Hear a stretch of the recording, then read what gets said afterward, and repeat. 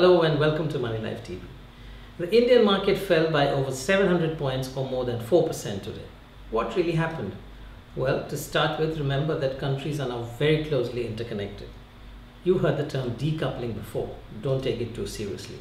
Today's fall is another example of how interconnected the world has become. So what really happened in this interconnected world today? It is simply that investors around the world were not happy with what they heard from Ben Bernanke, governor of the US Federal Reserve last night. After all, it's the easy money policy of the Fed that has kept up the prices of many assets around the world from time to time over the last few years. Bernanke announced plans to sell short-term securities on its balance sheet and buy longer-term securities. In market parlance, he will be doing the twist.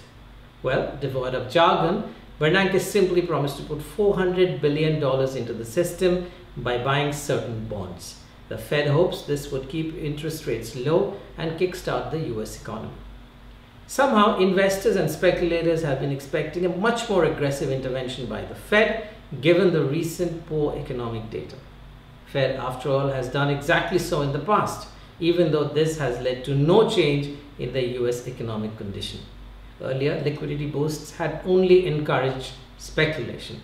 This time, however, having concluded that they won't get more cheap money flowing through the US banking system, investors decided to reduce their risk. This is why all risky assets have got sold off today. Apart from the Indian market, Jakarta, one of the top performing markets in the world this year, fell by as much as 8.9%. Hong Kong fell by 5%, while all European markets were down by 3 to 4%. And it was not just equities. Copper was down almost 4%, while crude, silver, lead and other commodities were also sharply down. What lies ahead?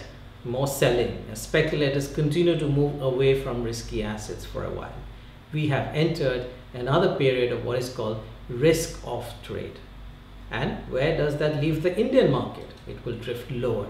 If there is further economic slowdown, for sure we will go down another 10% or so.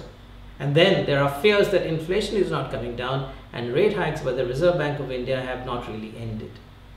How should you be handling this kind of a decline? For starters, don't panic. Stay with your investment plan of systematically investing in the right mutual funds or blue chip stocks gradually.